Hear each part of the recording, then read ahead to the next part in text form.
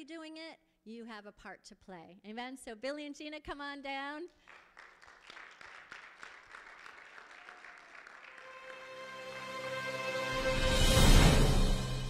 There's a whole lot more love in this house than that.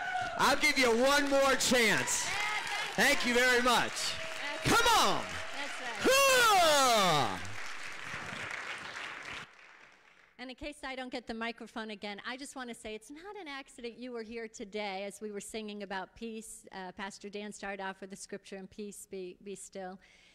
And the song, um, you to carry, you just exemplify peace. And I am so grateful that God has sent you to the university because if there's one thing college students need, it's peace. And the peace from God, Jehovah Shalom, to be in their life. So thank you for representing. Amen. Yeah, thank you very much. Yeah, yeah, we're so excited to be here with you guys this morning. Um, yeah, I, am Billy, and this is my wife Gina. And um, as was said, we are at UMass Amherst, so not too far away, um, with Cru, which is a you know non-denominational or interdenominational, um, yeah, Christian campus ministry. And um, yeah, we're just really excited and grateful to be able to share with you guys some of the stuff that God's been doing. So I'm gonna let Gina start. Mm-hmm. Yeah, so first of all, thank you again, LifeStream Church, for having us and for supporting us, um, both in prayer and financially. Um, my mom, um, Carol, has been going to LifeStream Church for the past three and a half years, and I know it's been so life changing for her. Um, so, yeah, we're so excited to share with you. I graduated from UMass last year, and Billy and I got married this past summer. So, this has been our first year of campus ministry together. Um, so, yeah, we're excited to tell you guys more about that. Um, oh yeah, so that's us. Um, and we're at UMass. Um, yeah, so in case you're not familiar with Cru, we're an an international campus ministry organization, um, and we are a caring, compassionate community, passionate about knowing Christ and making Christ known. Um, so yeah, Christ is just so necessary on college campuses around the country. Um, there's a great need for Him. As you can see, um, college campuses are very high pressure environments, um, oftentimes very secular, like UMass, um, with a lot of different mental health issues um, that college students are struggling with anxiety, depression, suicidal thoughts. Um, substance and alcohol abuse and addictions. Um, sexual assault is super prominent on college campuses, as well as just a cultural current that is against God a lot of the time, both in the classroom and socially. Um, but amidst all of this brokenness, God is truly at work, and we are so excited to share with you more about that. Um, many of you may just know about UMass stereotypically, just a very large, secular, progressive college campus. Um, but again, um, Christ is just drawing students to him, and it's such a joy to be a part of that. Yeah, so uh, I'm just going to explain just real quick, like kind of Cru's ministry philosophy, and then we're just going to tell stories because that's that's what people want to hear. You guys want to hear the stories, right? Yeah. All right. Awesome. So um, yeah, so our model is essentially three things win, build, and send. And so, winning, um, pretty straightforward. We just want every student on campus to have an opportunity to come to know Jesus, every corner of campus. Um, and then we want to send students from every corner of campus to every corner of the globe. Um, so, that's, that's kind of win and send. And then, build is probably, um, I would say, like probably the biggest part of what we do, which is just meeting with students individually, helping them figure out what they're gifted in, helping them grow in their faith, um, teaching them how to study scripture, and, and equipping them so that when they graduate, whether they're going out to be a missionary like vocationally or whether they're going to be a missionary in the workplace, we want everybody to be equipped to live on mission for God for their whole life, wherever that, wherever that is for them. Um, so that's kind of our model. So then um, on, on the next slide, we got a nice picture of uh, me with these three guys there. Um, and this is like, yeah, probably the most encouraging story I've had from the past couple months. So essentially, um, the guy on the far left there, his name is Ahmed, and uh, he's from Sudan. And then you got Takir from Pakistan, and then Adam, who is also from Sudan. And um, Ahmed is the president of the Muslim Student Association at uh, UMass Amherst, which probably has about 200 uh, Muslim students in it.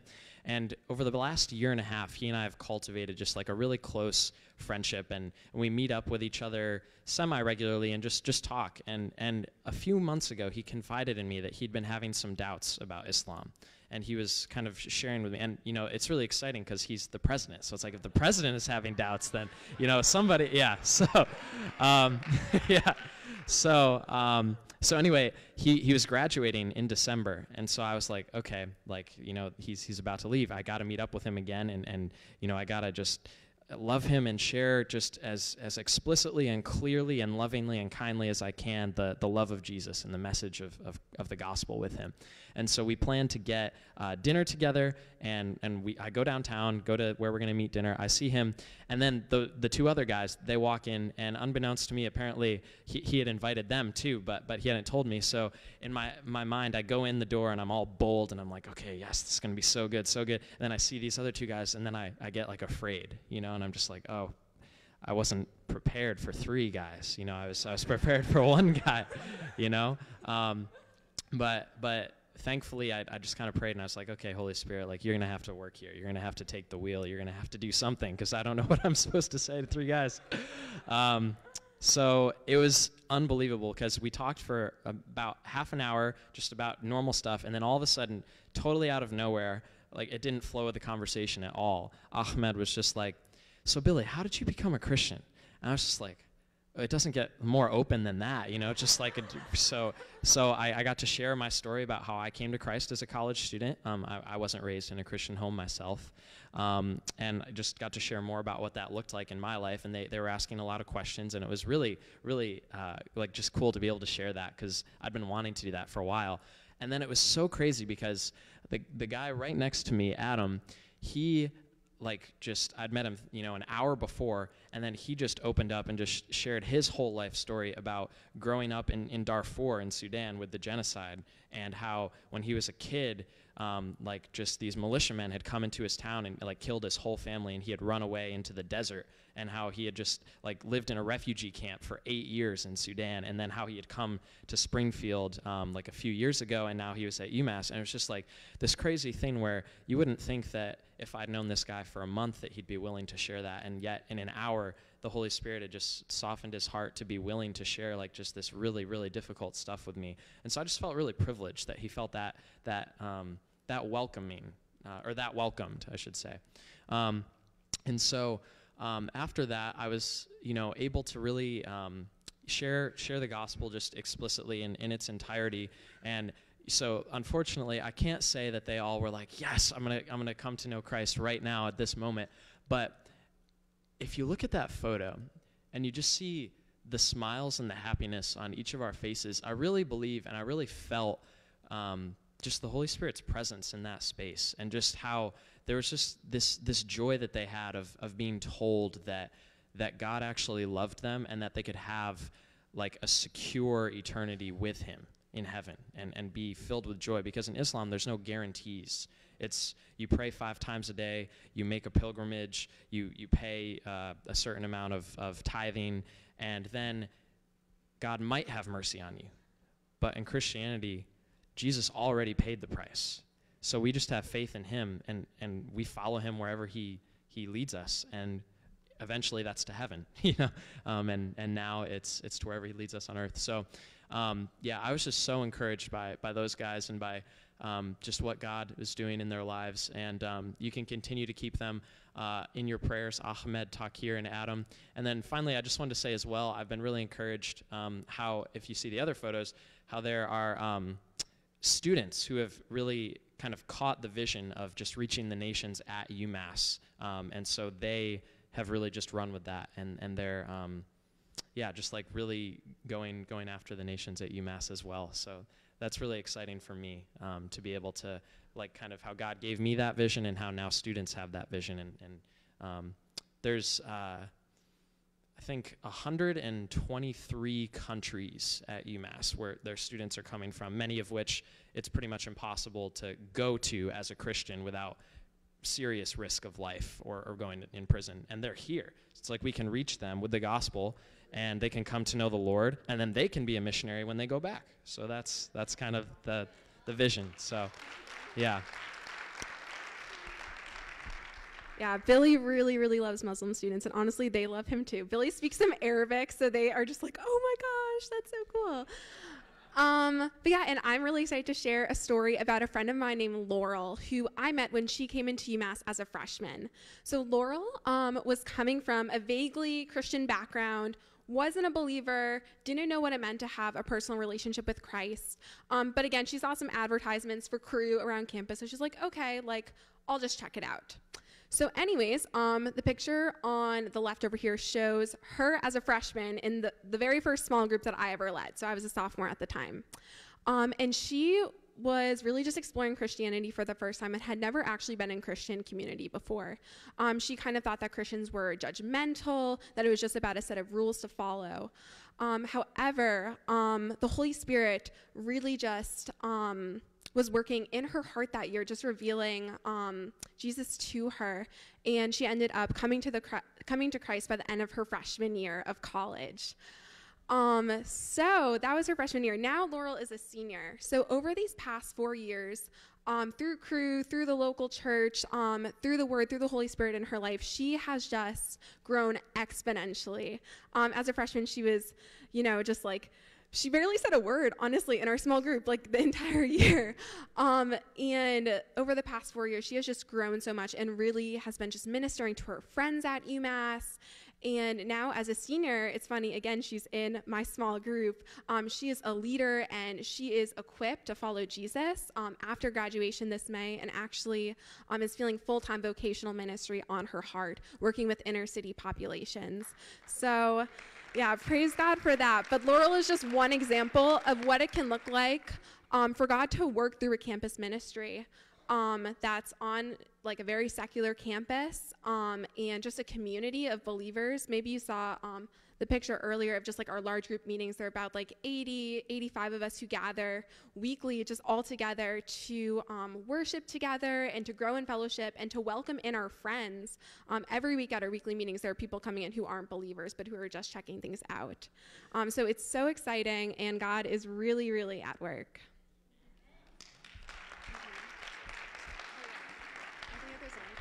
Oh, yeah. So, again, we just want to thank you so much um, for your support, for your prayers. We are so grateful um, for both of those things. So, if you have any questions for Billy and I, feel free to find us at the end of the service. We have a monthly prayer letter that we send out.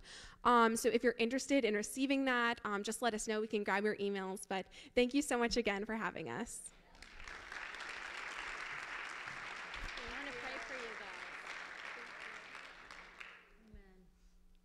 So it's great to put a face and a name to what's going on. Amen. And what I love about the Lord is the Lord will, one day, you'll be rewarded for what is happening at the University of Massachusetts because of your faithfulness to give and our ability to give from the ministry. And the Lord is so proud of you for taking your first year of marriage to do this. You know, getting married and taking that time together is so very important, and you've shared it with the world, literally. The Lord has put the world in your hands, and so I want to pray concerning that. Can I have your hands? Father, I thank you for this couple. I thank you for their willingness to lay their life down, even in a very sacred time of the beginning of marriage. And Lord, I'm just going to, I ask right now, I declare and decree a blessing over them, but I ask for a multitude of return, Father, for the seeds that they have sown of their life, of their time, sacrificing for these young adults who are needing your presence. Father, I thank you that as you have delivered the world into their hands, that they will see the world changed forever, eternally, permanently, Father, for your kingdom's sake, and they will take that fire back to the 123 nations.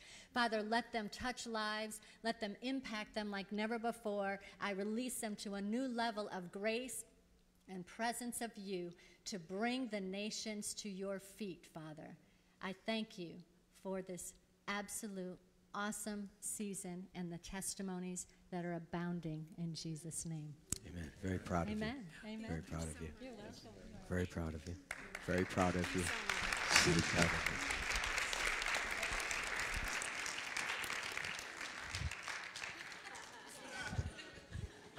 What happened?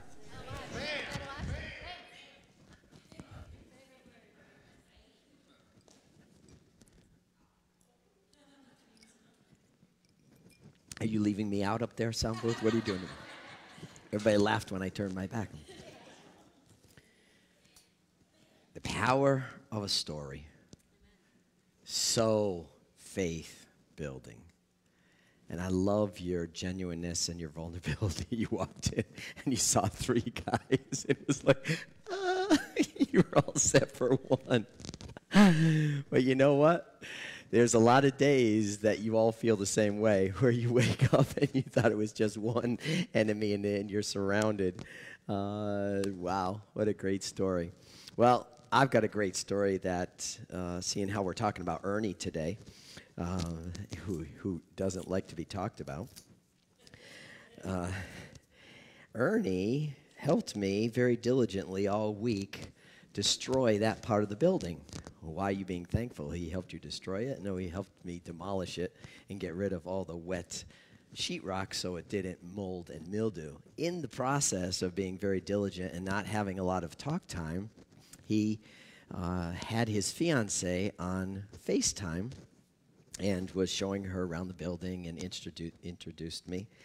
Um, actually, has a couple awkward introductions this week. Um, if you saw me, I had my monkey suit on. I call it a monkey suit on, a full jumpsuit, maybe like an air uh, mechanic. Maybe you've seen an airline mechanic or a garage mechanic, and hat and loaded down with sheetrock dust. And and Ernie says, "Hey, this is my pastor." I'm thinking, no, no, man, this is not a good scene." But then I was so encouraged by her maturity because he told me afterwards that she really liked me. And I said, She really liked me. She didn't, she just saw me. I was a disaster, man. And, uh, and it had nothing to do with what I was wearing. You know what she said? I looked into his eyes and I liked him immediately. She must have saw love in my eyes even though everything else didn't look like love on the outside. there was love in my heart for her. Um, I didn't really feel that bad for her because she was in 85 degree temperature in Puerto Rico. Um, but here's the rest of the story. Ernie tells me, seeing how we're talking about love and relationships in a better way, he told me a great factual, say factual, he told me in Puerto Rico there's a lot of murders. Ernie, where are you? Where's Ernie? He's not here today. Oh, no wonder I can talk to him. Then I won't make him uncomfortable. That's awesome. God is so good. Ernie's telling me that on this island, I think he said it was like 1,500 murders a year, something like that. It's, it was, wow, bigger than I thought on an island, uh, not talking about the United States. And he told me this great story about the biggest gangster uh, murderer, you know, just big time troublemaker, got saved. He gave his heart to Jesus. It gets better. he, God sent him back into the prison to minister, like you're being sent into the campus to minister. Many times, God sends you to places that you can really relate to. Um, that can happen many times. And so he did for this particular gentleman. And guess who was in the prison that he was sent to minister to the guys? The guy who killed his brother. And God, he's going into the prison, and he finds, finds out the guys in the prison, and God says, You're going to love him. And the guy says, No, I'm not. And God says, Yes, you are. And he says, No, I'm not. And he says, Yes, you are. And we know who won the wrestling match. Phenomenal story. He walked into the guy's cell, and the guy is freaking out because he knows what he did. Matter of fact, he's in, in prison for life. And the guy says, I'm just here to give you a hug. the guy didn't know how to comprehend the kind of love that had transformed this guy's heart and took him, like Apostle Paul, from a murderer, killing his brother, to someone that walked in a level of love that could forgive him and extend love to him. Ladies and gentlemen, we're in a series called Love and Relationship A Better Way. That is a true story about a better way. That's what changes people's lives. I kind of gave away, uh, and I felt it was necessary to share what I said in praise and worship, and it's an extension of something that came out of my heart and my wife's heart in the marriage dinner and meeting gathering that we had last night.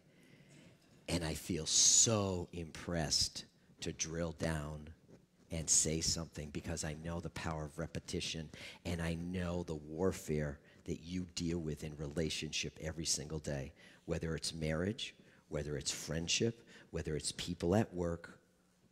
Life is like real estate, where they say location, location, location. When it comes to real estate, in life, it's about relationship, relationship, relationship. And if there's a necessity, major necessity, that if you're not good at relationship, you're not going to succeed at the main mission. They talked about mission on campus, the main mission that we're called to exhibit and to walk in every single day, and that is love.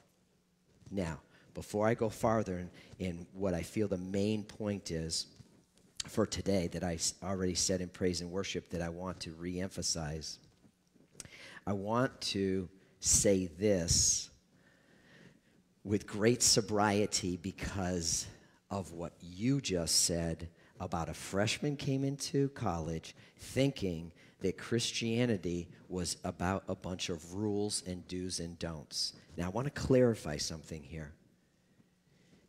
The Bible is what I call a life manual about how to do life. Scripture says in Joshua 1 8, if you think about who he is and what he has said, you meditate on that, you think it and you say it, then and, and you follow through, then you are going to experience a profitable, prosperous life. That's out of Joshua 1 8. I'm going to read you another scripture about what Jesus says about the word because here's what I understand. Jesus said, you don't love me unless you do what I say you're supposed to do. In other words, love is action. There's many times I know what the Holy Spirit is telling me to do, but like the guy going into the prison, you may not have the feelings of love to do something or, or want to do something, but you know it's what you're supposed to do. So, first and foremost, when we're talking about love and relationships in a better way, what we want to do is we want to separate out that you have to feel love to give love. You don't have to feel love to give love. Are you with me? I don't have to feel like being love, one of the root words of love that we talked about in 1 Corinthians on Life Chat Wednesday night is patience and kindness or long suffering. Nobody likes that word long suffering. But if I'm willing to be kind and patient and long suffering, there's not a lot of feelings of love and long suffering. It's about, no, Jesus did this. He went through a whole lot more suffering that I went through. It was an action of love. God so loved the world that he gave. He gave his very best. He valued you and I. Is everybody with me? Okay? So, in, in the Word, Jesus and in other scriptures talks about why the Word. Now, I'm going to go back to what I just was talking about concerning rules and regulations that you have to abide by. I want to tweak that. Every guideline and every instruction in the Bible is designed to profit us. Every instruction, I'm going to say instead of rules, guidelines. Every instruction guideline, it's like the lines on the road on the highway. They are there to keep you safe and everybody else around you safe. Are you with me? Was that a bad thing that the government did for you and I? Or was that a good thing? Is it a bad thing for a state policeman to pull over someone that's going down the highway like this, weaving in between the lines, not paying attention to the guidelines? Is that a bad thing? Come on, it's not a trick question. It's not a bad thing. Did I hit a something there about state troopers? Father, deliver them. They are government agents that create order and blessing. Deliver Bill right now. they those lines and those people that enforce those lines are good things. Okay? So take me as a state policeman. I'm a good thing. Oh, wait, that was a really, really poor response. Lord, what is going on this morning? When I say something that identifies the lines and encourages you to stay between the lines, I am loving you. I am loving you. I am loving you. I am focused more on you being blessed than whether you hate me or are, angry at me. That's an action of love. Are you with me? Okay? So Jesus himself says this in Luke 6, 46 through 49. He says, Why am I a little hot? I'm good? Okay, I'll be hot then. Uh, verse 46. This is Jesus. Say, This is Jesus. Okay? He's the captain of the state policeman, all right? He is, no, no, here. The love message is great. The grace message is great. The mercy message is great. All that is great but it's all designed to draw you in between the lines so that you live a profitable, protected life. Are you with me? It's not just to say, well, God loves me and I can go live the way I want, or God will have mercy on me, heal for me, I can live the way I want. No, that's poppy schnapp. That's that's that, that's like that's like Judas saying to mommy, I love you, mommy, I love you, mommy, I love you, mommy, or any other your parents, I love you, mommy, I love you, daddy, and then they don't listen to you. No, love listens.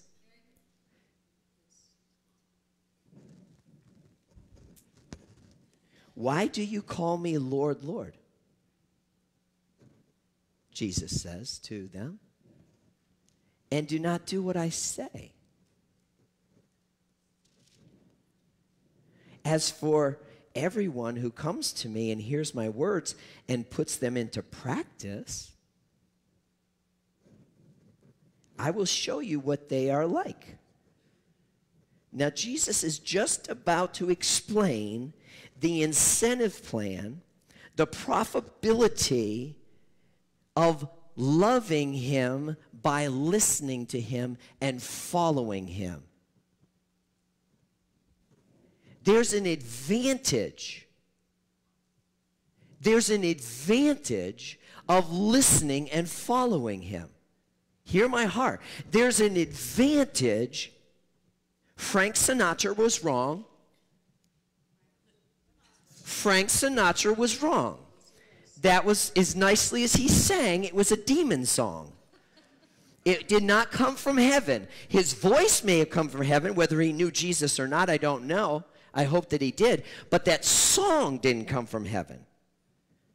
The My Way song was a demon song that will lead you down the wrong road. Your way is a low way. God says, My way is the highway. And it's a highway that when you get on it, it's like flying above the clouds. I'll, I'll say in modern day terms, it's the jet stream. And I'll tell you, every single airline pilot is pointing their jet, the nose of their jet, through those clouds into the jet stream. Why in the jet stream? Come on. There's clarity, there's less resistance. This is the way we want to travel, where the sun shines. Okay? So the whole heart of God is to is to train us like an airline pilot to get our life, the Boeing 747, into the jet stream. That's the whole heart of God. He's not a, t- a, a, dictator. He's not a taskmaster. He's a father that knows more than us. He's the wisest professor, the Holy Spirit, the mentor, the life coach that knows more than us. And he knows what works. Because it doesn't matter if it, you're in today's culture or 2,000 years, there's principles that work then and there's principles that work now. They're life giving, forever producing principles of his goodness. So he goes on to say, concerning hearing his word, following his word, I'm always going to include ask the Holy Spirit to help you do the word. Don't just put it in your backpack on your to do list. Say, Lord, I can't do that. I need some help, like our brother said today. It goes on to say, if you do this, if you listen and follow, you are like a man building a house who dug down deep and laid the foundation on a rock. When a flood came and the torrent struck that house, but could but it could, could not shake. It wouldn't shake the house because it was well built. Say, well built. The whole heart of God is to help us have a life that is well built on a solid rock. Because the storms are going to come. Don't come out of avoidance, come out of denial, get into reality, connect with the greater reality, and build your life according to who He is on the chief cornerstone, according to His word, and you will overcome every situation. I guarantee you. Because He's made it that way. But the one, say, but the one who hears my words and does not put them into practice is like a man who built a house on the ground without a foundation. The moment the torrent struck that house, it collapsed and its destruction was complete. I love the heart of God. I'm going to say it's like a coin, heads and tails when we have not done this, when we have not heeded to this because of lack of knowledge, or we rejected knowledge that we heard and we did the Frank Sinatra my way thing, there is mercy, there is forgiveness. The kindness of God is new every single morning. So we can say, Father, I didn't listen. And now I'm, I'm, I'm in a mess. Please forgive me. And you will receive the heart and help and wisdom of God, He'll reach out to you and He will help you. Now, there is a section that's a little bit more sobering in Proverbs where it says, You didn't want to listen to me. You just basically laughed at me. You mocked me. You didn't pay attention to me. So now you're in trouble. And so I'm on pause right now. It actually says this. You didn't want to listen to my wisdom, so fine. You're, you're it. You're on your own. I say that because there can be an imbalance in the mercy, forgiveness, grace message where we sometimes are not operating in the sobriety that was identified and brought the breakthrough in praise and worship. He is Yahweh, He is God. He is King of Kings. He is Lord of Lords. He is the beginning of the end.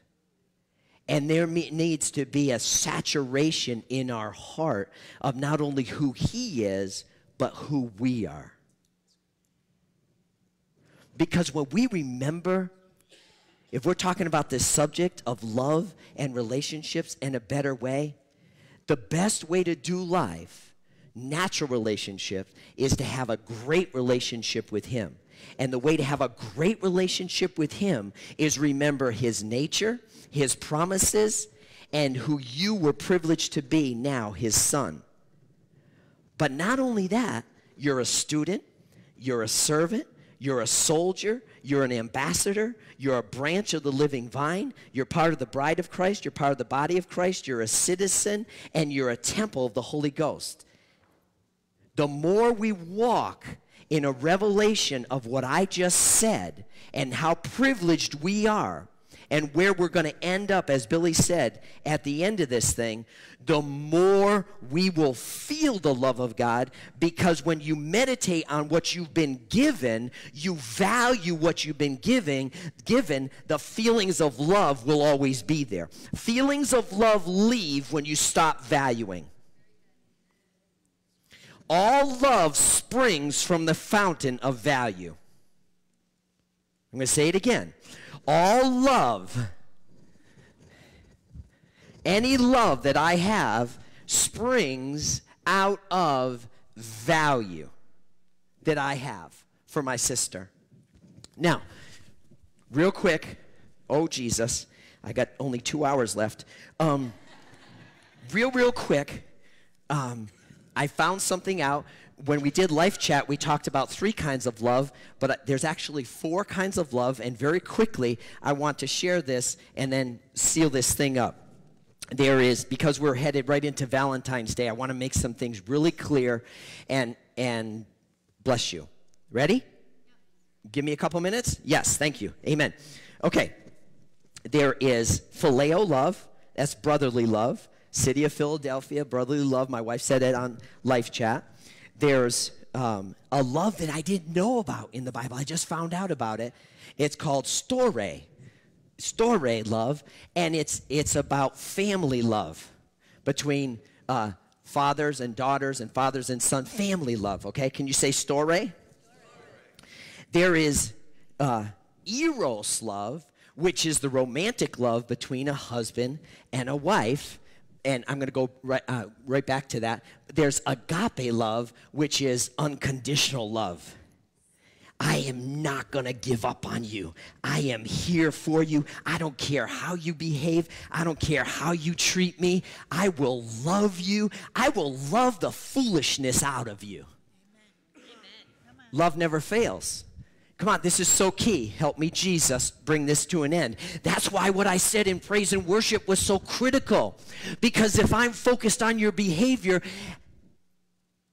love will wither.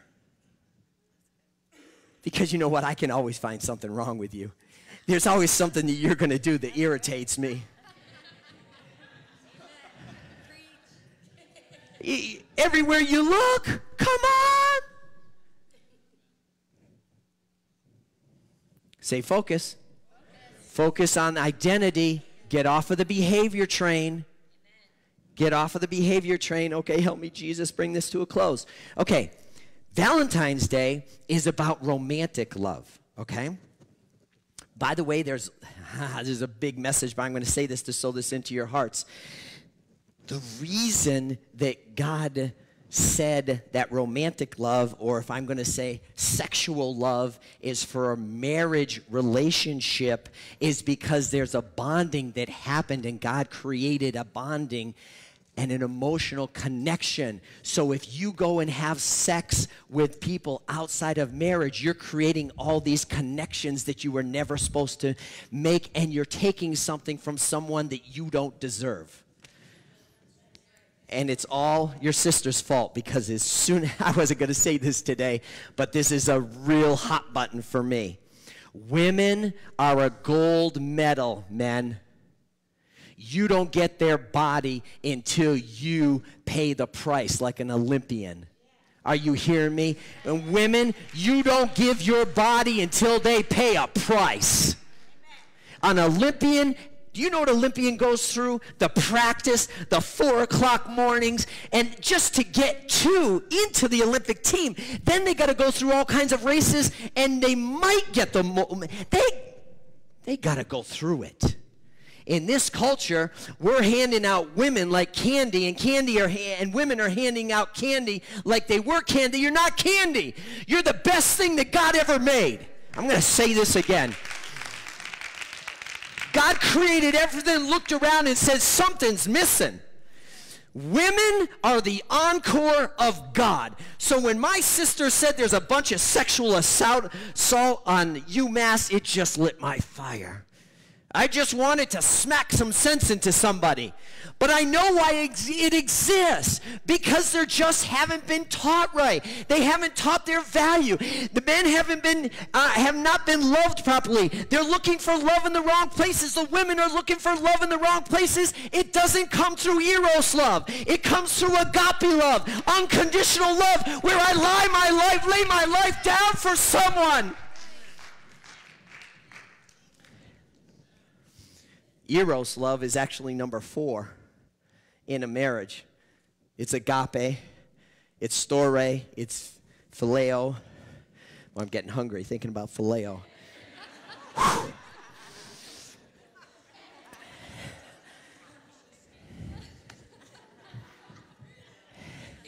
Some people say the kingdom of God is the upside down kingdom, the backwards kingdom. No, it's the right side up kingdom. The culture is upside down.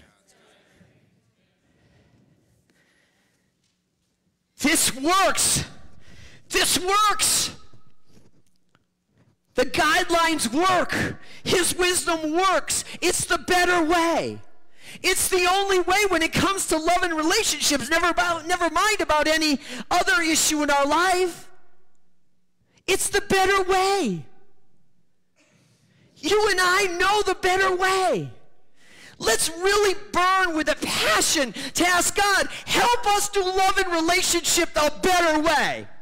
Help us focus on the people's true identity instead of the behavior so my love for people doesn't wither, but it actually grows. And I become like my Father, and I become like Jesus, and I become like the Holy Spirit. And the only thing that's coming out of me is life, love, kindness, and patience. Come on. Let's go after this thing. Come on, let's go after this thing. Let's make it a core value in your life. Let's wake up in the morning and say, God, help me to love like I've never loved today.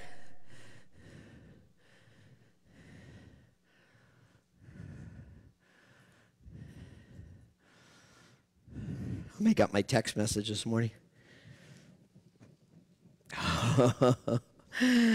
God is so wise. Oh my God. I'm getting so hot.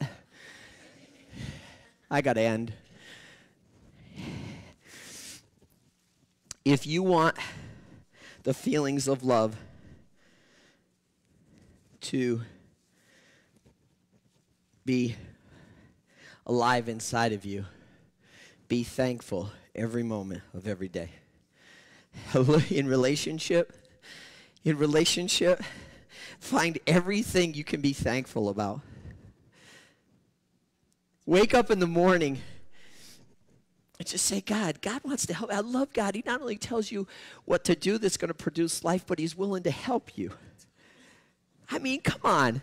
Is there a better leader than that? Not only shows you the way, knows the way, proven he knows the way, He's the wisest, but he's got the power and the strength that he'll help you go the right way. Come on, you know how much, we've got the better way, man. We, we're privileged people. We should be sing. Never, ever should we be singing the blues. Now, there's mercy for when you are singing the blues, but man, most of the time, we're, our shofar should be coming out of our heart like Kathy. Dun, da, da! Da da da da! You know who my God is? Do you know who I am? Do you know the angels that are with me right now?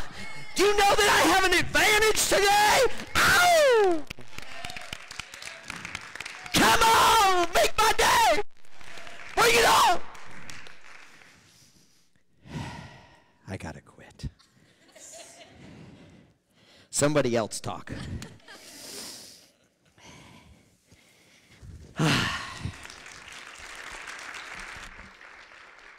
Amen. Now, that message should go across the airwaves, especially the part about women.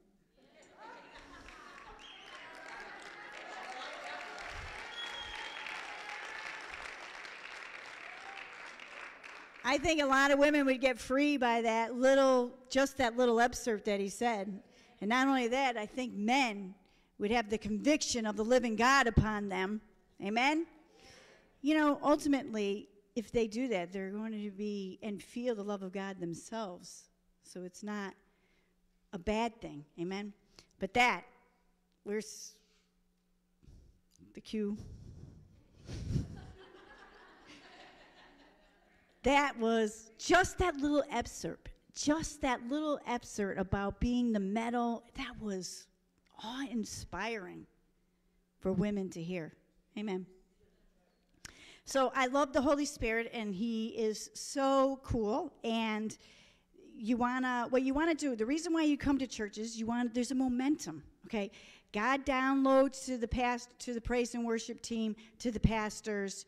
We get scriptures. That what you're supposed to do from here is you're supposed to take and ride the wave of the momentum that God specifically, the word specifically for you in this congregation for this day. Okay? So the word, I'm going to give you the word because we love the word that the whole service was on was on Matthew 14 chapter 14, verse 22, all the way to um, 36. Jesus walking on the water. Peace be still. So, your assignment is to what I would do in your prayer time, because now you're on the wave. You're on the wave, is to read uh, Matthew 14, 22 through 36. So, and the part of the song I love the most, I'm going to be dancing on the water. Amen. So, immediately he directed the disciples to go into the boat and go ahead of him to the other side of the Sea of Galilee while he sent the crowds away. Now, it's very interesting to know that at this point in time, Jesus was very grieving. He had just found out his cousin John the Baptist had been beheaded. He gets to the other side, he gets the news, he gets the other side, there's a crowd waiting for him. So he puts down his emotions. He does what the Lord tells him and ministers to the crowd. But now he's going to send the crowd away. But now he's still got that emotion and he's going to bring it to God. This all ties in. Amen. And he and he had and after he had dismissed the crowds, he went up into the mountain by himself to pray. When it was evening, he was there alone. But the boat by this time was already a long distance from the land, tossed and battered by the waves. We sang that in the song, right? By the waves, for the wind was against him. Now, I want to bring this in. This goes into every area of your life. You can be tossed by the waves in your finances. You can be tossed by your waves in your mind. You could be tossed by the waves in anything, right?